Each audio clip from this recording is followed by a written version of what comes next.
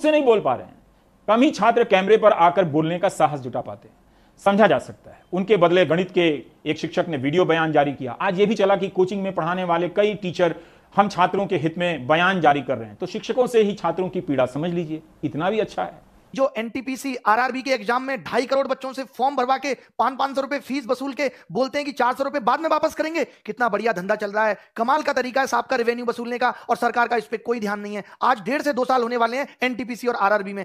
एक बार ये कहते हैं, हमें कोई एजेंसी नहीं मिल रही एग्ज़ाम कराने के लिए। लेकिन हमारे देश की मीडिया इन सबको दिखाने का उसके पास कोई टाइम नहीं है। वो बस एक मुद्दा पकड़ लेंगे। उनको भी पता है, सबको मज़ा आ रहा है। यही दिखाओ यही दिखाओ। मीडिया के सारे चैनल भी मिलकर एक एक बार बोल देना दो दो मिनट तो भी कुछ नहीं होने वाला। क्योंकि सरकार के कान पर मीडिया की बातों की जू नहीं रेंगती सरकार और मीडिया एक हो चुकी है। सत्रह का एग्ज़ाम 2021 आने को है। चार साल में आप एक नौकरी की ज्वाइनिंग नहीं दे पा रहे। आप पूरे देश का चुनाव एक महीने में खत्म करा देते हैं।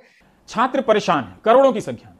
अच्छी बात है कि कोचिंग में पढ़ाने वाले शिक्षक उनके बदले बोल रहे हैं। बस इतना ध्यान रहे कि सारा अकाउंट ठीक होना चाहिए, वरना रिया चक्रवर्ती के घर पर जो ईडी की टीम है, वो उनके कोचिंग इंस्टीट्यूट में ना पहुँच जाए। ऐसे ही सावधानी के लिए बोल रहा हूँ। वैसे भी सारे बयान जारी करने वाले शिक्षक सावधान है इस बात को लेकर किसी राजनीतिक दल